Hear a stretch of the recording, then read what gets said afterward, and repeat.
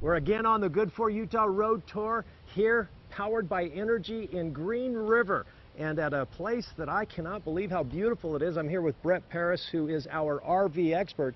And as surprised as I was as to how good this uh, park is at Green River, there's a lot of uh, spots for you to take an RV. Yeah, you know, we've seen a lot of state parks, haven't we? Yeah. And this one is extra special. It's right off I-70, and there are 46 beautiful campsites with power and water, grassy sites, beautiful big trees, frisbee golf, regular golf, a river you can go fishing in, rafting, whatever you want to do, this is a perfect place to come bring your family. It's really not that far away from anywhere. I mean, you can get here in I-70 and you're uh, a hop, skip, and a jump. Well, tell me about this uh, RV. It has everything. And the one thing that I was so impressed with is that it has USB plugs everywhere. Yeah, you know, this is a 2019 Shadow Cruiser. The model's called a 277 BHS, and BHS means bunkhouse slide.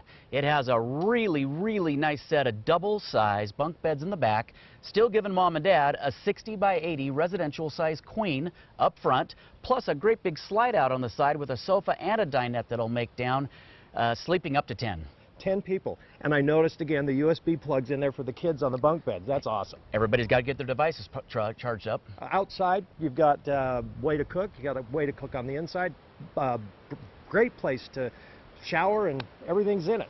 Yeah, you know, you get a choice of cooking on the inside or out. I love cooking on the outside, but you've got a stove on the inside. You've got a great big, uh, nice uh, chairs to sit in, watch TV.